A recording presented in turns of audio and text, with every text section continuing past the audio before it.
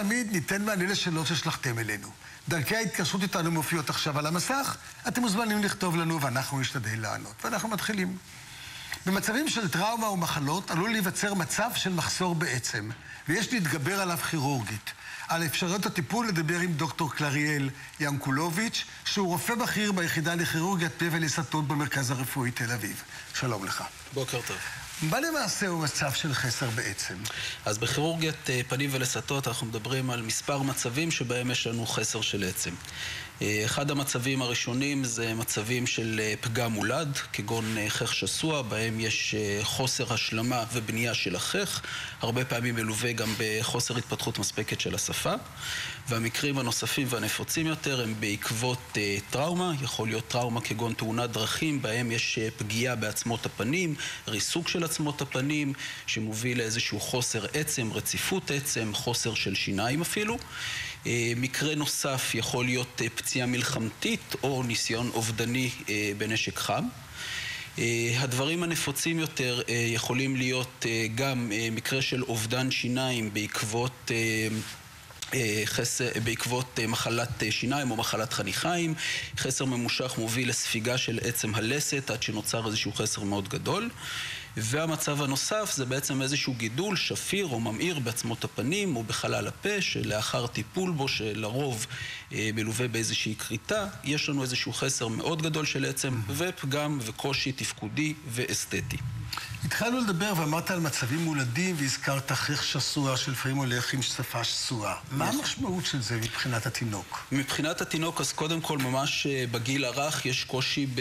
ביניקה. אין את האיטום של השפתיים, את הוואקום שנוצר בחלל הפה ואת היכולת לשאוב את החלב של האם או את המטרנה פנימה. אה, ובמצבים כאלה אנחנו בעצם צריכים לייצר איזשהו, איזושהי חסימה בין חלל הפה לחלל האף כדי שכל אותו אוכל שנכנס לא יברח החוצה דרך האף. אה, בגיל המבוגר יותר, לקראת אה, גיל שנתיים-שלוש, כשיש כבר את ההתפתחות של הדיבור, אז אה, יש יכולת, חסר יכולת לבטא חלק מהעברות בגלל בריחת האוויר הלא נכונה, במקום דרך השפתיים, דרך האף, דיבור נזלי, וזה משהו שיכול ללוות בעצם את התינוק לאורך כל חייו, הלימוד הלא נכון של צורת הדיבור. אז בכך שסוע, איזה טיפול אפשר להציע לתינוק בשלבים הראשונים הראשונים, שיוכל גם לנהוג, ויותר מאוחר? אז בשלבים הממש ראשונים, בדרך בדרך כלל רופאי שיניים לילדים מייצרים איזשהו סד, איזשהו אביזר חיצוני שמולבש לתוך הפה של התינוק. מעין פלטה בלשון העבר. פלטה לחלוטין, כן. שיוצרת את האיתום הראשוני הזה בין חלל הפה לחלל האף. ואחרי שהתינוק מעט גדל, אנחנו מתחילים לחשוב בעצם על נושא של סגירות, בין אם זה ברקמה רכה, בין אם זה ברקמה קשה, והשתלות העצם, שמבוצעות אה, בחלק מהמקרים כבר בגיל הילדות. איך עושים השתלת עצם? מאיפה לוקחים את העצם? או מה, מה משתילים? יפה. אז uh, כשאנחנו מדברים גם בילדים ובעיקר במבוגרים, שזה רוב העיסוק שלנו, אנחנו מחלקים את השתלות העצם להשתלות הקלאסיות ולהנדסת רקמות, שזה דור העתיד. אה, במקרים הקטנים של חסר העצם אנחנו יכולים להשתמש באיזשהו תחליף עצם שיכול להיות ממקור הומני או ממקור בקר או איזשהו חומר סינתטי שאנחנו פשוט קונים ומביאים לאזור החסר. כלומר, יש הכנות של עצם מלאכותית, נכון? נכון מאוד, שבה אנחנו משתמשים. כלומר, מוציאים חלק מהחלבונים שלא תהיה דחייה ושלא יהיו דברים, נכון משאירים את החלק המינרלי. נכון מאוד, זה משמש איזשהו מצע לגוף שלנו לייצר את העצם. הבעייתיות מתחילה בחוסרים הגדולים יותר של העצם, שחלק חלק מהדוגמאות הבאתי כאן לפניכם. אז כאן יש לנו מקרה של אה, אה, חך שסוע, מקרה של אה, ילד שכבר הגיע לגיל בגרות ועדיין לא עבר איזשהו תיקון. אפשר להתרשם בצורה מאוד טובה מחסר העצם המאוד גדול אה, באזור השיניים הקדמיות. כמובן שחסר עצם שכזה מתבטא גם בצורה אסתטית, אין פה מספיק תמיכה לאזור בסיס האף, לאזור השפה. הוא מקבל כבר בגילו הצעיר איזשהו מראה מאוד מבוגר של שפה נפולה. אה, וכמובן פגם אה, אה, תפקודי, יש לו קושי לנגוס בדברים, יש לו קושי להסתובב בחברה בגילו הצעיר בלי חשן קדמית, כל ההשלמות הדנטליות למיניהן כנראה פחות טובות לפחות בגיל הזה. מצבים נוספים שבהם אנחנו נתקלים, שזה מצבים שאחרי כריתה, במקרה הזה אדון בסביבות גיל 40, שעבר איזושהי כריתה של גידור שפיר בלסת. נוצר מצב של חוסר מאוד גדול בעצם, כמו שאפשר לראות בנקודת כן. הזמן הזאת. ואנחנו צריכים בעצם לתכנן את, את השיקום, איך אנחנו משחזרים את חסר העצם, כדי שיוכל לקבל גם שיקום תפקודי, גם שיקום אסתטי, למצב חוסר העצם. מה עושים במקרים האלה? יפה, במקרים האלה אנחנו נאלצים לפנות לדרכים הקשות יותר להשתלת עצם. הדרכים הקלאסיות זה בעצם לקחת אה, עצם ממקום אחר בגוף. מאיפה בדרך כלל אתם נוהגים לקחת? יפה, אז יש כמה מקומות. אם אנחנו מדברים בתוך חלל הפה, אז uh, באזורים מקומיים אפשר לקחת מאזור הסנטר, שהוא מקור עצם טוב, של עצם קשה, שאפשר להביא לחל... לאזור אחר בתוך חלל הפה, אבל זה עצם מועטה יחסית. כמות אנחנו... קטנה. כמות קטנה. כן. ואז אנחנו נאלצים לעבור למקורות אחרים, כאשר המקורות הנוספים יכולים להיות אזור הגולגולת, שאפשר לקחת חתיכת עצם, היא יותר מתאימה לשחזורים כגון רצפת הערובה או אזור של סינוס, וכשאנחנו נאלצים אה, אה, לשחזר חסר כזה שהוא חסר תלת-מימדי, אנחנו פונים לאזור אחר שנותן לנו כמות מאוד רבה של עצם, שזה אזור האגן הקדמי, שממנו אנחנו יכולים באמת לדלות כמעט עצם כמה שצריך. ואתם כורתים את העצם ממקור אחד ומעבירים אותו למקור. נכון מאוד. וכמובן הדרך החדשה יותר והמתקדמת יותר זה כל מה שאנחנו קוראים לו הנדסת הרקמות. אנחנו יודעים שלגוף יש אה, יכולת בעצם לייצר את העצם, אנחנו רק צריכים לעזור לו ולעודד אותו לעשות את זה. אנחנו עושים את זה בעזרת אה, חלבונים בוני עצם, או בשמם הלועזי BMPs, Bone Morphogenic Proteins.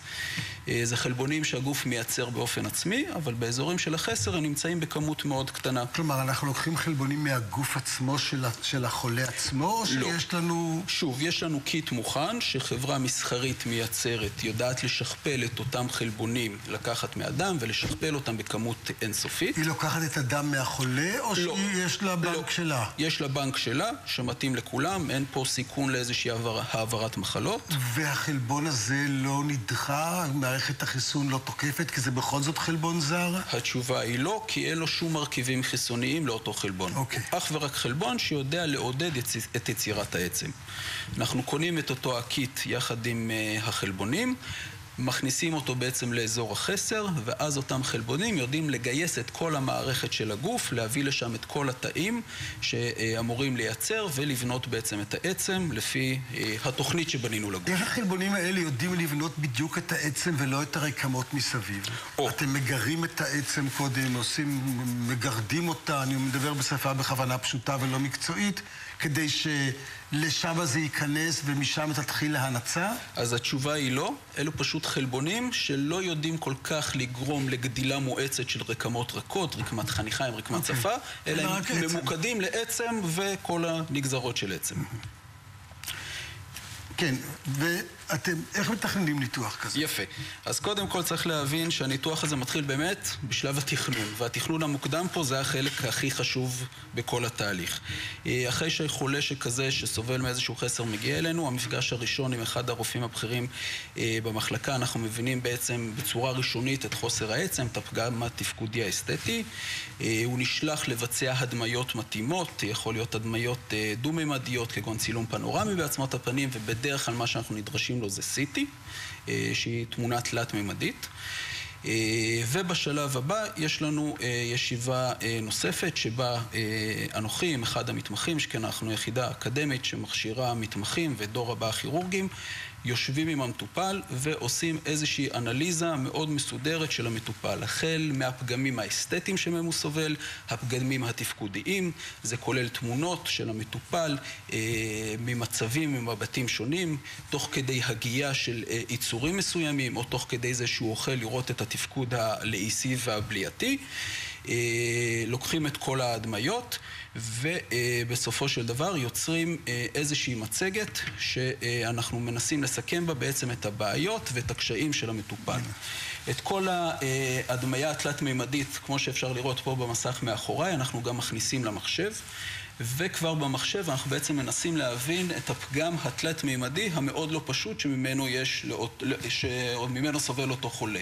שזה למעשה מה שאנחנו רואים פה בצבע כחלחל טורקיז. נכון מאוד. כן. רואים פה בעצם את אזור הלסת העליונה ועצמות uh, הלחיים בצדדים, uh, ואנחנו בעזרת ה... Uh, התכלת אנחנו מדמים את החסר, ובסופו של דבר, אחרי שנפריד גם את העצמות הנוספות שמקיפות את אזור החסר, אנחנו נבין בעצם כמה החסר שלנו הוא מורכב בצורה תלת-מימדית. הוא לא גוש מרובע, הוא לא גוש מלבני, אלא יש לו מגוון של צורות שאמורות להשלים לי בצורה הכי טובה את החסר בצורה... כמו חלק בלגו. נכון מאוד.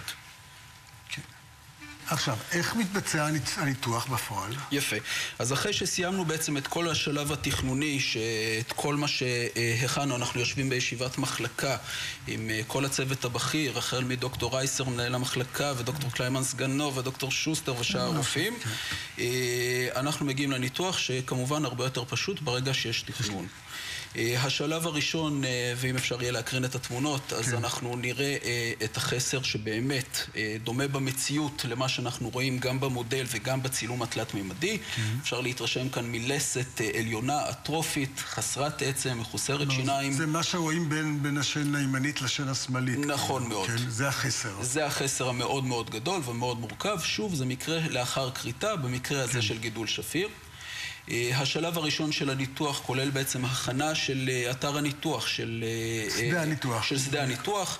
יש פה חשיבות מאוד גדולה להפרדה נכונה של הרקמות הרכות, רקמות החניכיים במקרה הזה, וההכנה של החלק הגרמי. בתמונה אפשר להתרשם מאחור בצד שמאל של התמונה שמוליך בין חלל הפה לחלל הסינוס, זה מסוג המצבים שבהם שתייה לדוגמה הייתה יכולה לברוח לאותו בן אדם דרך האף, כי יש פשוט מעבר ישיר. ובשלב הבא של הניתוח אנחנו בעצם מתחילים בהכנת העצם, במקרה הזה אנחנו רואים איזושהי פלטת עצם שתהווה לנו איזושהי תמיכה אחורית. שלב הבא אנחנו מניחים את הפיגום, את המש שאותו יצרנו בצורה תלת-מימדית מוקדמת, בין אם זה על ידי הדפסה במדפסת תלת-מימד ובין אם זה בקיפול על ידי אחד המודלים שהכנו. ותחת המש הזה אנחנו בעצם שמים את העצם המלאכותית, בין אם זה עצם שקצרנו מאזור האגן ובין אם זה אותם חלבוני עצם עם הנסע שלהם. בסופו של דבר, שוב הנושא של הרקמות הרכות שהוא קריטי, כיסוי במספר שכבות של רקמה רכה, שכן אחד הגורמים העיקריים שיכולים להוביל לכישלון זה חשיפה של העצם ששמנו שם. אז יש פה סגירה הרמטית. חשיפה תביא לזיהום, משום שחלל הפה הוא חלל מזוהם. בדיוק. חלל הפה הוא לצערנו החלל הכי מזוהם בגוף. ברגע שיש לנו סגירה הרמטית של האזור, אז אנחנו יכולים כמעט להבטיח את ההצלחה של הטיפול. יכול להיות מצב שהעצם תידחה? התשובה היא כן. לצערנו, גם אצלנו וגם הספרות הכלל עולמית מראה רק על בערך 95% הצלחה של כל אותם השתלות עצם, בין אם זה במקור עצמי ובין אם זה בצורה של הנדסת רקמות. אז כישלון הוא אופציה, למזלנו אנחנו לא נתקלים בה יותר מדי. איך ההחלמה מהניתוחים האלה? אז ההחלמה תלויה במהלך הניתוח. אנחנו רואים הרבה מאוד תופעות לוואי דווקא כשיש אתר תורם עצם. ברגע שאנחנו נאלצים לקצור עצם ממקום אחר, יש יותר תופעות לוואי. לדוגמה, באזור האגן יש לנו צלייה וכאבים שיכולים להימשך בין שבועיים ואפילו עד חודשיים אחרי שכזה ניתוח. כמובן, יכול להיות מקרים חריגים. האורתופדים עושים את זה או אתם עושים את זה? לא, זה אנחנו, זה חלק מההכשרה שלנו. כמובן, מקרים חריפים יותר של זיהומים לחלל הבטן וכו'. אזורים אחרים, אם קצרנו עצם מהגולגולת, יכולה להיות איזושהי התקרחות, או מאזור הסנטר איזשהו אובדן תחושה באזור השפה, תופעות לוואי וסיבוכים הרבה פחות נעימים. באזור שאנחנו משתילים את העצם, דווקא תופעות הלוואי הן בדרך כלל מינוריות וחולפות מהר מאוד. זה בדרך כלל איזושהי נפיחות, ששיאה מגיעה אחרי יומיים עד שלושה, ובדרך כלל כשבוע, עשרה ימים לאחר מכן, רוב הנפיחות נעלמה ותופעות הלוואי. בהנחה שהכל עובר יפה, אינשאללה, כמו שאומרים במקומותינו, כמה זמן עד שאפשר להכניס משתל, להרכיב שיניים ו... ולא ידע כי בא אל קרבו, כמו שאומרים? אז אנחנו צריכים לחכות בין ארבעה לשישה חודשים. אחרי ארבעה חודשים אנחנו כבר עושים שוב הדמיה תלת-מימדית, מעריכים את כמות העצם שקיבלנו, מוודאים שאכן יש לנו הצלחה, ואחרי כחצי שנה מהעצם מהניתוח הראשון, אנחנו נכנסים לניתוח שני, שבו אנחנו מכניסים את השתלים, במקרה ומדובר על חסר שיניים, או מוודאים את ההצלחה שלנו. צריך לעשות ניתוח בשביל השתלים, או שכמו פעולה דנטלית רגילה? לצערנו, את המשי, את אותם כן. חלקים מתכתיים אנחנו נאלצים להסיר, כי להשאיר חלקים okay. אוקיי. מתכתיים זו בעיה, הגוף נוטה לדחות אותם, לייצר זיהומים, אז אנחנו כן עושים את זה בניתוח נוסף. אז אחרי חצי שנה, מה שלא יהיה ניתוח נוסף, ואז אפשר נכון להשתיל את זה. נכון מאוד. למדנו משהו. תודה רבה לדוקטור קלריאל ינקולוביץ'. זהו, אחרי הפרסומות נפילת טיפול אישי, טיפול תרופתי באלרגיות, וגם תשובות לשאלות ששלחתם אלינו, והחוזרים.